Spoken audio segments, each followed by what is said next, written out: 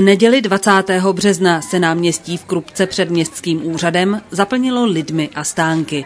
Konal se tady velikonoční jarmark. Prodejci tu nabízeli zboží obvyklé na podobných tržištích a nechybělo ani občerstvení, ale mnoho jich tady bylo s jarní a velikonoční tématikou. Tu dobu dělil přítomné od tohoto svátku ještě týden, ale krupští si umí Velikonoce a jejich oslavy prodloužit. Tak, na zdraví. Praskne to. Praskne čočka.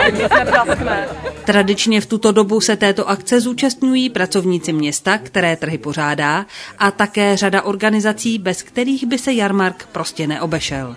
Před Velikonocema jsme měli docela skon, protože jsme se připravovali na dnešní velikonoční jarmark, pekli jsme perníčky s dětmi, vyráběli jsme dekorativní eh, výrobky z keramiky. Rukodělné dílničky byly i v opravené budově nového městského úřadu. Své stanoviště mělo DDM i tady.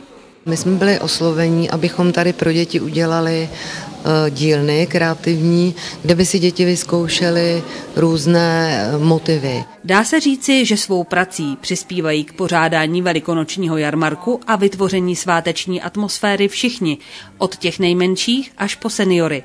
Se svými výtvory tady byly členky klubu důchodců. Velký podíl měli na akci Krupské školy, zejména Biskupské gymnázium a jeho základní škola. Její žáci na tomto jarmarku tradičně vystupují s představením, ve kterém předvádějí velikonoční zvyky. Známé i v dnešních dobách je pálení morany. Je to mazané, bez koření, bez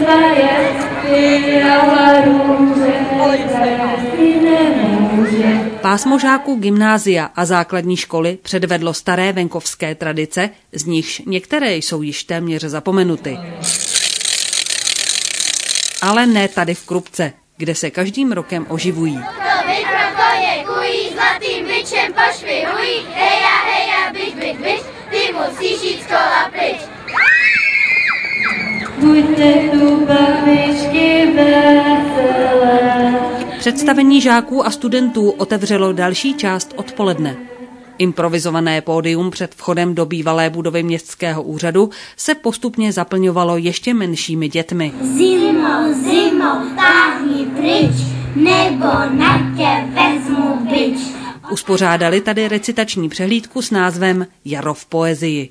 Původně e, tento festival byl soutěžní, a jak leta plynula, udělali jsme to, že je to i pro veřejnost, když se na to koukali jenom děti ze školek. Letos to byl už 16. ročník této přehlídky. Je to tradiční přehlídka eh, dětí z mateřských škol v Krupce.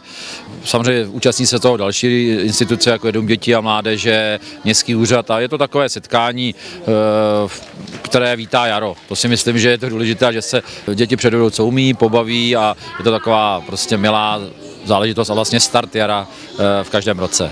A to by nebyly paní učitelky, aby tím nesledovali nějaký výchovný cíl aby poznávali jazyk, aby si ho obohacovali a aby vnímali krásu českého jazyka, českých pohádek, českých říkadel.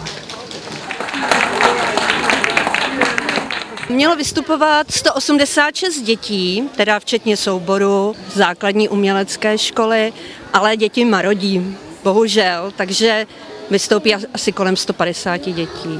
Přehlídku se zájmem sleduje a oceňuje i veřejnost. No je to hezký, je to takový milý, no, pro ty s těma dětma. Hezká recitace, i děti si začaly pobroukávat uh, s dětma společně, takže to bylo hezké. Spokojenost, je to hezký, děti se snaží, jsme spokojení.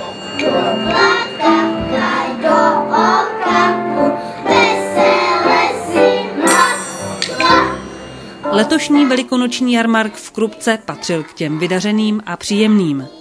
Přestože počasí nebylo zrovna ideální, neděle 20. března byla letos astronomicky prvním jarním dnem a to už je příslip toho, že teplo a sluníčko tu budou co nevidět.